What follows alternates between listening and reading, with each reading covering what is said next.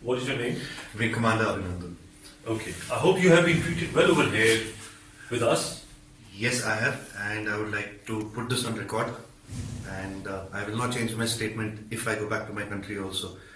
The officers of the Pakistani army have looked after me very well. They are thorough gentlemen, starting from the captain who rescued me from the mob and from his jawan, from soldiers, and thereafter uh, the officers into the unit which I was taken to.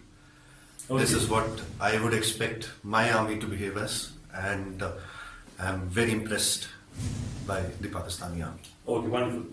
Uh, so, Wing Commander, you hail from which place in India? Am I supposed to tell you this, Major? I'm sorry.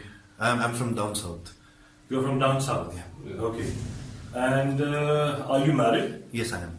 You're married. Yes. Okay. I hope you like the tea. The tea is fantastic. Thank you. Okay. And uh, now coming over to some specifics. Which aircraft you were flying? I'm sorry, Major. I'm not supposed to tell you this, but I'm sure you found the wreckage. And what was your mission?